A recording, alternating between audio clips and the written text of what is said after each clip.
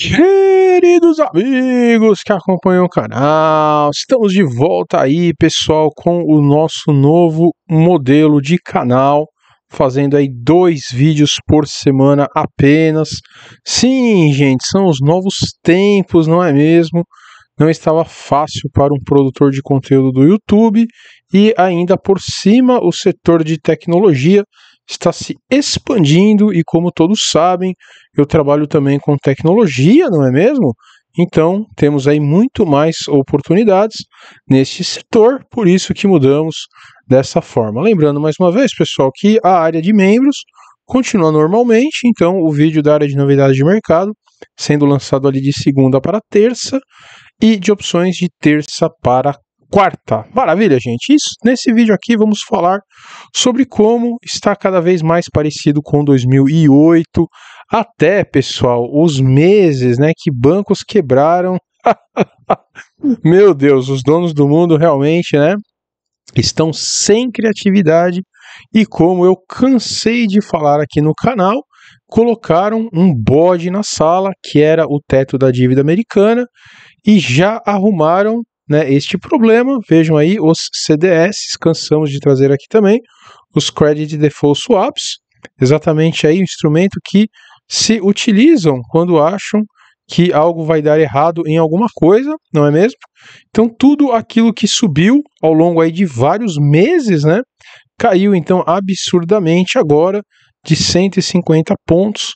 Estamos aí nos 22, né, gente? Realmente subiu de escada e caiu de. Perdão, gente, caiu de elevador, tá certo? Então aí está, era apenas um sinal falso, não é mesmo? E vamos trazer então um post que fala exatamente sobre essa enorme semelhança com 2008, tá certo, pessoal? Entre várias outras coisas, não percam aí, o vídeo está realmente muito legal. Burn Stearns, hein, gente? Quem lembra do Burn Stearns? Exatamente o banco que colapsou lá em março de 2008, levando a uma alta de três meses nas ações. Peraí, Morfeu, peraí, peraí, né?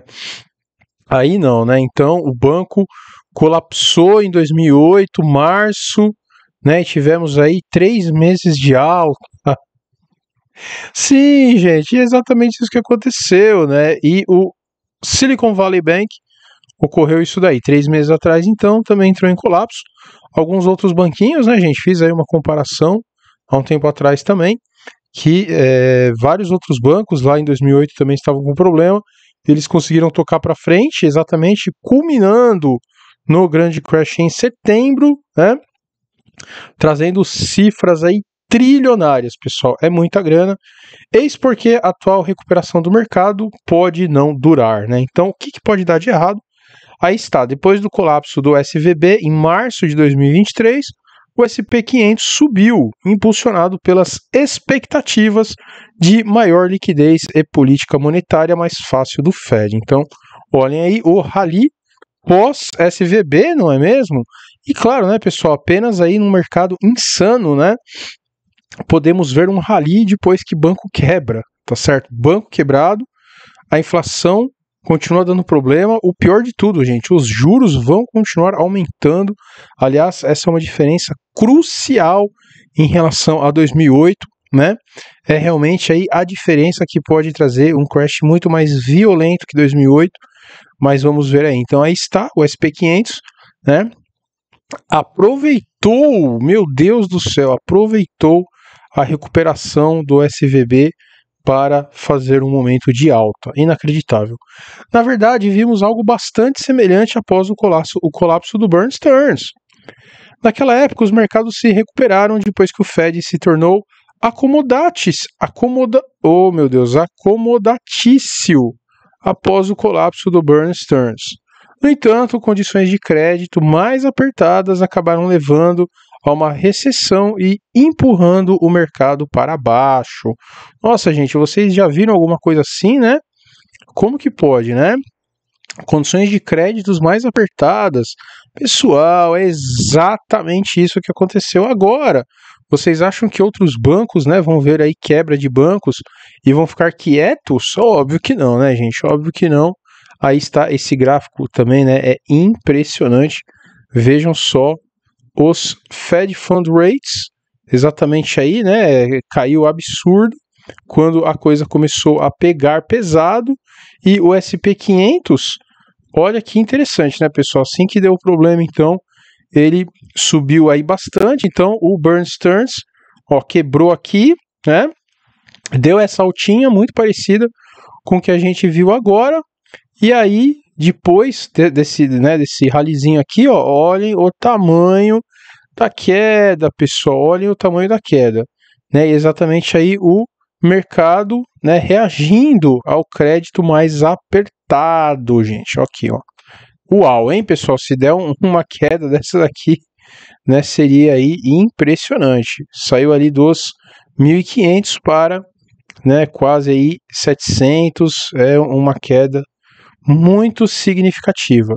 Só que o grande detalhe, né, gente, nessa história é exatamente isso, tá certo? Quando o banco, né, começou aí, com os bancos começaram a ter problema, gente, o é, é, juros né, do, do Fed aí começou a cair também com força, né? Vejam que estava ali em 5,5, exatamente quando começou a ter problema.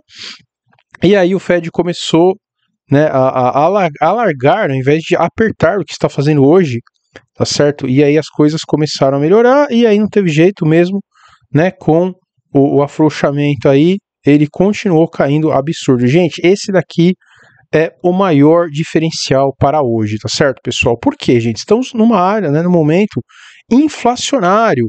Então, mesmo com as quebras dos bancos, o Fed continua aumentando os juros, gente. Tá certo? Por quê? C19, né? C19. Eu diria aí que o C19 ele catapultou, né? ele impulsionou a subida das condições né, de aperto exatamente porque levou a uma grande inflação. Então, lá atrás, quando o Bernie Stearns quebrou, o Fed foi diminuindo os juros e agora, depois que o SVB, que o Credit Suisse quebraram, o mundo ainda está subindo juros devido à inflação. Pessoal, sim, né, isso daí é algo caótico para o mercado financeiro. Você sabe que está com problemas sérios e mesmo assim continua subindo juros porque simplesmente não tem o que fazer. Certo, gente, vamos aí analisar outras questões, mas antes, né? Lembrando, a nossa área de novidades de mercado, essa semana realmente está cheio aí de gráficos, né? Então a questão de imóveis, a questão das hipotecas, a questão de como o setor imobiliário vem realmente caindo muito. A questão aí, ó, que eu falo tanto dos juros, né? Por que, que os juros subindo tende a causar um problema maior ainda na questão bancária. Então está muito legal, gente. 24,90, tanto aqui no YouTube quanto lá no Kiwi. Continuamos postando normalmente por lá. E não deixem de entrar no nosso grupinho do Telegram, nosso segundo canal mais importante. Se as coisas apertarem com censura aqui no Brasil, isso está avançando aí a passos largos, né? Nós falamos por lá, então é muito importante que todos entrem ali. E também aqui no YouTube, se você está chegando agora, se inscreva, comente, curta. O YouTube, gente, é o patrão, né? Mais severo que existe. Então, só da gente parar de fazer vídeos aí, uh, as nossas views já caíram absurdamente. Né? Então, quem puder aí se inscrever, comentar, curtir, compartilhar também, né? principalmente, realmente vem muito bem-vindo. E aí, Twitter e Instagram, né? postando ali ainda ao longo do dia. Então, vale muito a pena nos seguir. Maravilha, pessoal. Gente, olhem aí essa planilha né, que eu estou usando muito lá no curso de é, ciclos de mercado também. Só para lembrar novamente, pessoal, o tamanho dos crashes que foi 2008. Então, empresas como a Fannie Mae, a RBS, a Lloyds, vários trilhões de dólares. E aqui a gente já está bem no comecinho, né, a mesma trajetória. Então, ali em março, apenas em março, tivemos aí três bancos que já quebraram e lá em março de 2008 foi apenas um, o que sem dúvida alguma mostra né, como estamos em um momento muito mais delicado. Gente, de novo, se tivermos aí o mínimo de proporcionalidade em relação a 2008, imaginem o tamanho das quebras que veremos então em setembro, em outubro, até o final do ano, né? Muitas coisas devem ocorrer.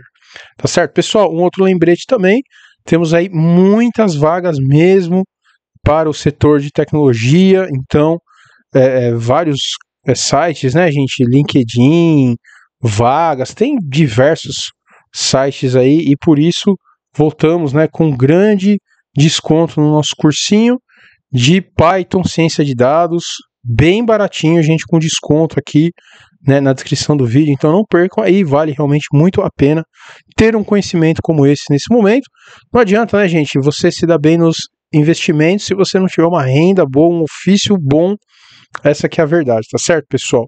Multiplicar pouco é o mesmo que pouco, né? Tem que se multiplicar aí uma renda minimamente decente.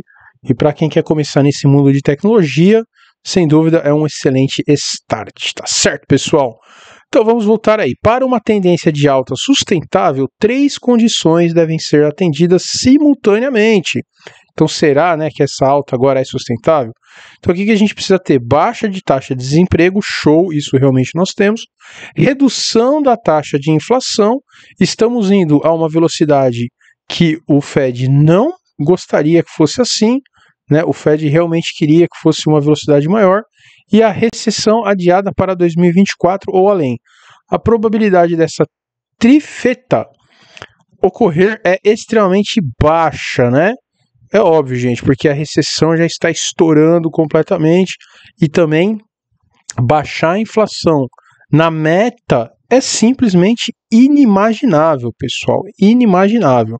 Tá certo? Então, olhem que interessante esse gráfico também, né? Está aí sensacional. Se compararmos então o SP500 exatamente com as condições econômicas, gente, as condições econômicas, olhem esta pequena boquinha de jacaré, tá certo? É difícil, né, encontrá-la ao longo aí do tempo. Olhem em, no C19, né, como foi exatamente isso que aconteceu. Então, o SP500, né, continua subindo e aí você tem uma piora enorme, tá certo, das condições. Não tem jeito, isso leva né, a uma grande queda aí do índice. E de novo, né, gente? Ah, mas o SP500 é o índice lá dos Estados Unidos. Pessoal, o SP500, obviamente, tá certo? Quando ele tem um problema, ele passa, né, esse problema, ele não tem jeito, como se fosse um, uma bomba mesmo, né, pessoal? Ele explode e aí acaba afetando todas as bolsas, é realmente impressionante. E aí vejam nas demais crises, né, como é, essas condições econômicas elas exatamente estavam caindo muito e aí trouxeram então uma grande queda do índice, tá certo, gente? Olhem aqui 2008 novamente, né? Mas é impressionante como a, a essa boquinha abriu muito pouquinho, né? E aí a nossa boquinha aqui já está muito mais aberta, o que tende, né, a trazer uma correção do SP500 e logo isso se espalhar para o mundo inteiro. Pessoal, muito interessante. Realmente esse gráfico está sensacional.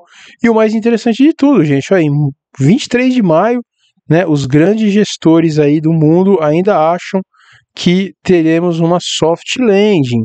Então, definitivamente o mercado não está preparado, né, para uma grande paulada aí, para uma grande correção, certo? Mesmo os especialistas não acreditam né, em um pouso forçado, em um pouso aí que mexeria com né, os alicerces do mercado financeiro, pessoal. Será?